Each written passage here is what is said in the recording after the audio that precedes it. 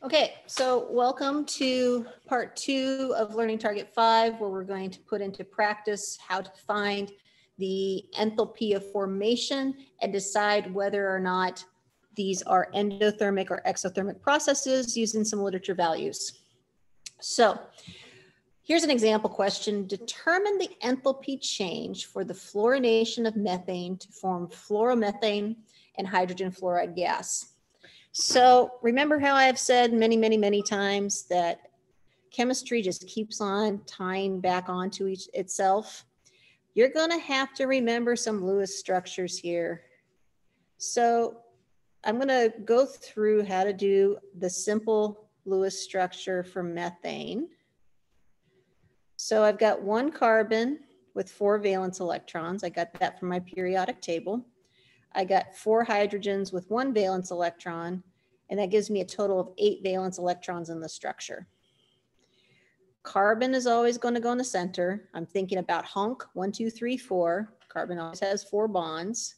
So the only possible structure for methane is going to look like this. So there's my methane plus, and then I got fluorine here. And fluorine's going to have a total of 14 electrons. Uh, and I'll back up and say that's two fluorines times seven valence electrons apiece. So I'm going to have fluorine, single bonded to fluorine, two, remember a single bond is two electrons, four, six, eight, 10, 12, 14. I don't have to put those valence electrons, but I'm just doing it to remind you how to do Lewis structures. Pretend I'm counting my valence electrons here. So I've got CH3F. And just as a reminder of a Lewis structure, I'm putting valence electrons there. And I've got HF here like that. And that's two. Okay. So there's step one. I've got my Lewis structures. And now I'm going to Remember that my enthalpy of formation is going to equal the sum of the bonds broken. I'm just going to say broke minus the sum of formed. So I'm going to now use my data table. I've got one, two, three, four CH bonds. I go to my table and say CH is 414. 414. So I've got four times of 414. Plus, I've got one F double, single bond. So an FF single bond is 159. And these are all on the reactant side. Minus and I formed one, two, three CH3 bonds. And that's going to be the 414 again, plus one CF bond. And CF is going to be 492 plus, and then I've got one HF bond, and HF is going to be 567. So I am now ready to grab my calculator and double check me as I go. I'm going to have four times 414 plus an additional 159. I'm to get that value. I'm to subtract from that 3 times 414 plus 492 plus a 567 and I am going to get the heat of formation here to be negative 486. And my units here are going to be kilojoules per mole. So it's going to release negative 486 kilojoules per mole of the CH3F and HF that are formed. And so that is my first example. One of the questions that will be asked, however, is going to be um, how certain are you about this answer? And you will always say, if it's an IB question, I am uncertain because literature values tend to differ based upon the resource at which I'm getting my table. So you might find another source that will get you negative 485, and that all depends on what resource you are looking at. Let's look at our next, next example.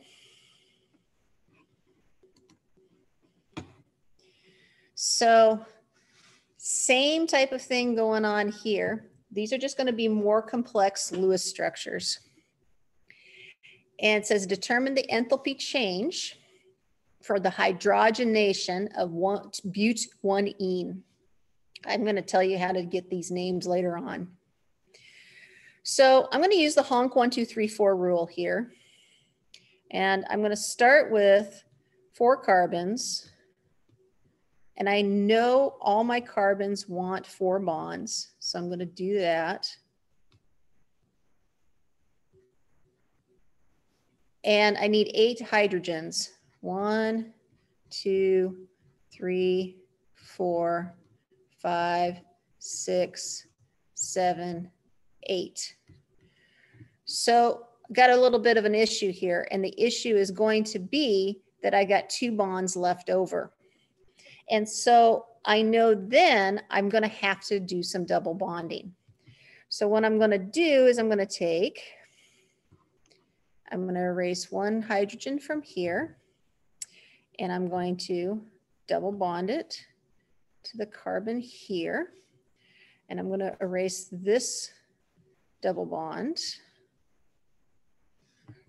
And now I've got one, two, three, four, five, six, seven, and then all I have to do is put that one more H on the end.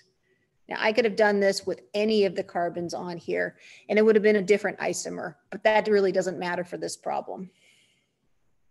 Plus H2, and that's what that molecule is going to look like. And hydrogenation just means I add a whole bunch of hydrogens to it two more per molecule. So instead of having some double bonds, I'm going to have some single bonds. Boom, boom. So I'm taking butene and making butane. And there we go. And now we're ready to do that exact same process with the formed minus the broken, or the broken minus the form, sorry. So I'm going to have sum of the broke minus the sum of the forms. It's going to give me my enthalpy of formation. So I broke one, two, three, four, five, six, seven, eight CH bonds. And if I go back a slide, CH was 414.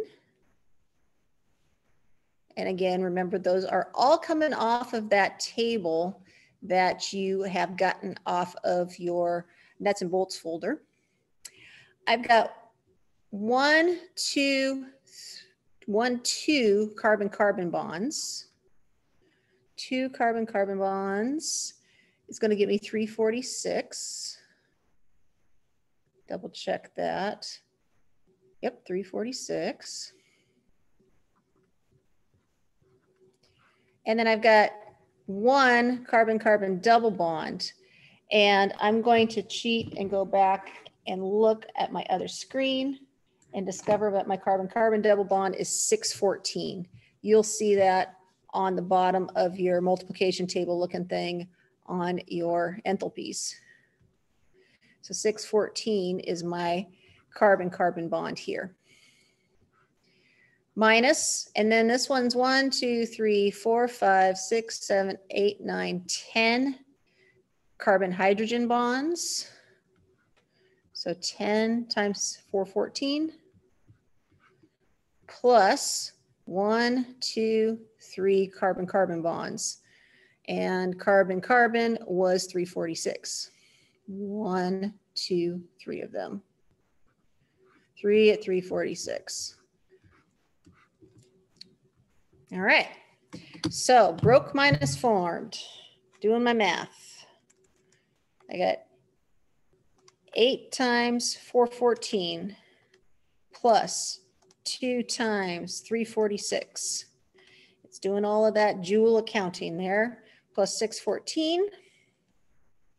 Get that answer subtracted from uh, 10 times 414 plus 3 times 346. And another exothermic process has happened. And oh, by the way, most of these are going to be exothermic. Negative 560 kilojoules per every mole of butane formed. Any assumptions that you might have? Once again, it all depends on what table you're using to get those enthalpy values. You can't be 100% sure on any of them because all enthalpy tables are based upon a limited amount of data. So hopefully the problems are just as simple as that. I put another one out there that I'm going to call level two, where maybe you are going to be asked to solve backwards and find an enthalpy value if you know a heat of formation. Hopefully this helps and we'll talk to you soon.